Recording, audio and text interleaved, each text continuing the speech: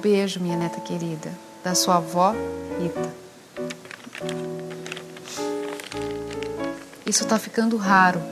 Carta de papel, escrita à mão, às vezes perfumada. Não faz muito tempo, essa era a única forma de receber notícia de alguém. E como demorava para chegar. Até a pessoa receber a carta, até mandar a resposta, levava dias, né? Algumas ruas aqui que tinha carta. O carteiro passava, mas do resto não. Tinha que levar lá no correio, na, que era na, na Lapa, né?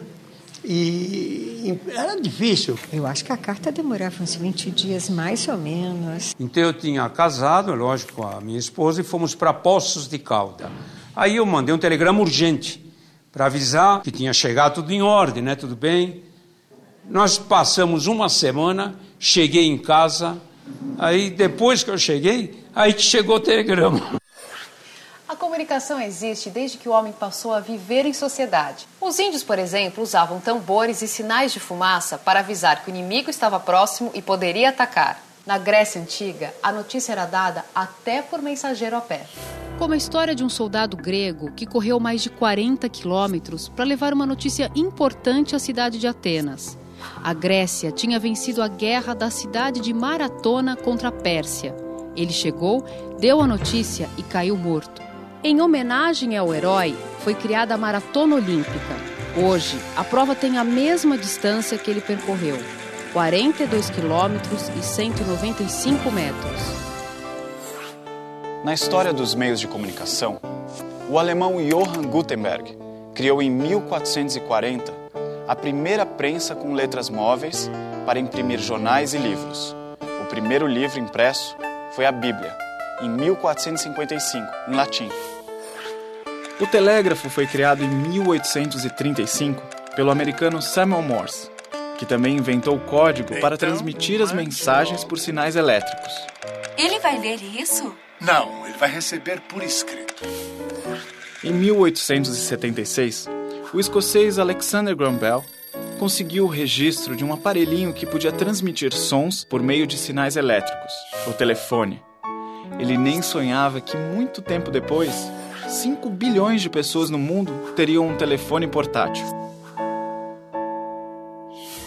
O cientista italiano Guglielmo Marconi foi o inventor do rádio, um sistema que transporta a mensagem entre grandes distâncias através de ondas eletromagnéticas no espaço. No Brasil, o rádio foi utilizado, começou a ser utilizado com muita ênfase e, e com muita organização por Getúlio Vargas, um presidente populista que usava o rádio também para sensibilizar as massas, para passar para as massas um sentimento de Brasil e um sentimento de credibilidade ao pai dos pobres.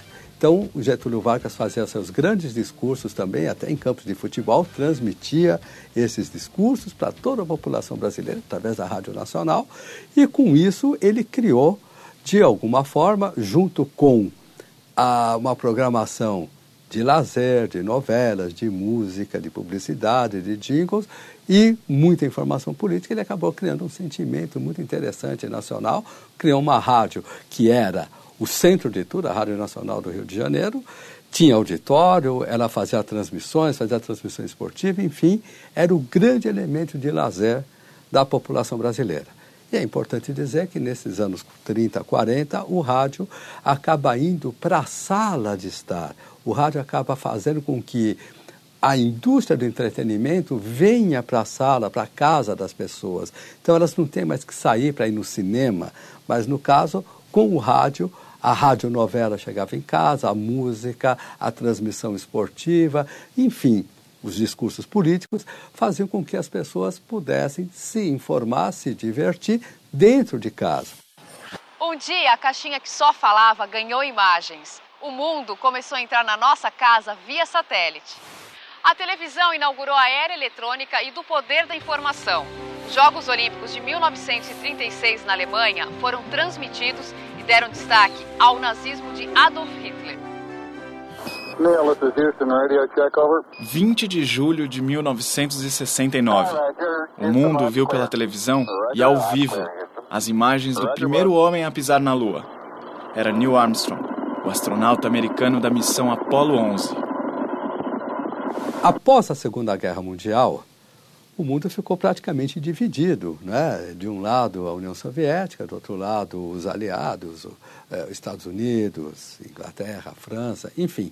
E iniciou-se não mais uma guerra de armas, mas uma guerra fria, através da propaganda e contra-propaganda ideológica. Toda vez que nós temos situações de conflitos, guerras importantes, existe o desenvolvimento de novas tecnologias nas várias áreas, na área de comunicação, na área de, de, de armamento, enfim, na área de transporte. Então, a, as guerras, infelizmente, acabam impulsionando esse tipo de pesquisa por uma necessidade de dar soluções rápidas.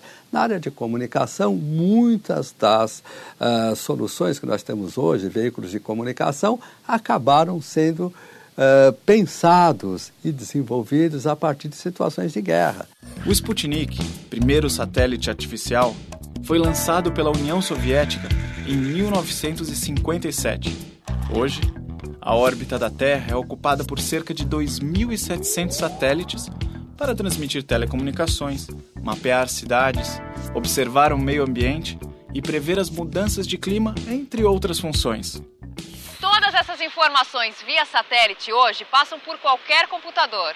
Esse aparelho revolucionário foi uma ideia desenvolvida desde os anos 20 do século passado.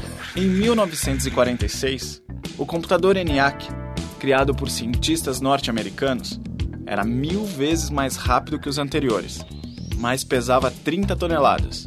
O computador veio substituir as antigas calculadoras mecânicas. Ele teve um grande impulso no seu desenvolvimento durante a Segunda Guerra, para ajudar a cálculo de trajetória de balas, de foguetes, de coisas desse tipo. Mas, é, devido à versatilidade que o equipamento apresentava, rapidamente migrou para aplicações comerciais e depois para aplicações genéricas. O microcomputador, para uso individual, apareceu em 1975. Atualmente, o computador, na verdade, entrou dentro dos equipamentos em geral. Então, o seu micro-ondas tem um computador lá dentro, a sua televisão tem um microcomputador lá dentro, o seu telefone tem um microcomputador lá dentro. Então, o computador, de alguma forma, contaminou, né, para o bem, todos os equipamentos de nosso uso geral. E como esses equipamentos tendem a, a falar entre si, né, esses equipamentos em breve estarão todos conectados, como já acontece com as pessoas via redes tipo internet. Então, o computador é, digamos, a, a nossa ligação é, tanto no mundo humano, onde as pessoas se comunicam, como no mundo das máquinas. Com toda essa tecnologia conquistada, toda a informação rápida que temos, que mundo nós ainda queremos ter?